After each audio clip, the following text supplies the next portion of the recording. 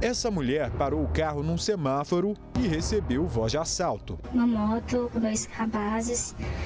Um deles desceu, me abordou com uma arma na mão, pedindo celular, joias e dinheiro. Ah, na hora entreguei tudo que tinha e falei, pelo amor de Deus. E ele falou, me passa tudo com muita agressividade e foi muito rápido, não deu para identificar. Um policial militar que estava de folga viu quando o assalto aconteceu e resolveu perseguir os bandidos enquanto chamava reforço. Mas quando os criminosos pararam para fazer o segundo roubo, ele resolveu reagir. Na hora que eu parei a moto atrás, eles, ele estava ameaçando ela de morte. E falando que se ela não desse o celular, que ia matar ela, que ia tirar a vida dela. Foi a hora que eu tive que interferir na situação e sendo obrigado a fazer um disparo para cessar a ameaça dele. A jovem, que também foi assaltada, conta que estava saindo do trabalho quando os bandidos chegaram e eles agiram com violência. Aí, no momento que eu estava esperando o meu esposo, aí parou uma moto.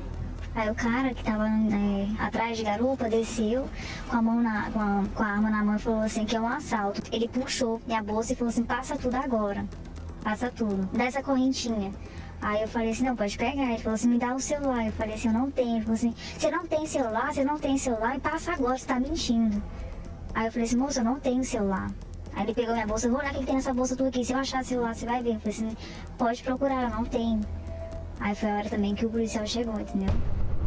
Gutenberg Monteiro de Lima, de 33 anos, é foragido do semiaberto. Ele levou um tiro na barriga e foi encaminhado para o Hospital de Urgências de Goiânia. O homem usava este revólver calibre 32. O comparsa dele conseguiu fugir, mas a polícia recuperou o celular da mulher assaltada dentro do carro, uma corrente e o dinheiro que a segunda jovem guardou para pagar a passagem de ônibus no dia seguinte.